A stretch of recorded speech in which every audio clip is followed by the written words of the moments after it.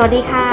ฝ่ายการพัสดุขอรายงานข่าว เกี่ยวกับโครงการพัสดุชาริตี้เพื่อบ้านเด็กอ่อนพญาไทครั้งที่ 2 โดยเมื่อวันที่ 15 กรกฎาคม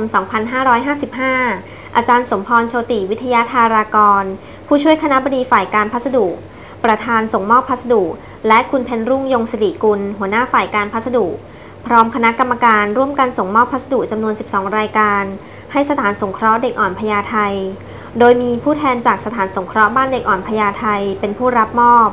ณฝ่ายการพัสดุอาคารบำบัดน้ำเสียชั้น 2 รวมพลังร่วมคิด ร่วมสร้าง ร่วมพัฒนางานด้านพัสดุ เพื่อประโยชน์สูงสุดของมหาวิทยาลัยมหิดล สวัสดีค่ะ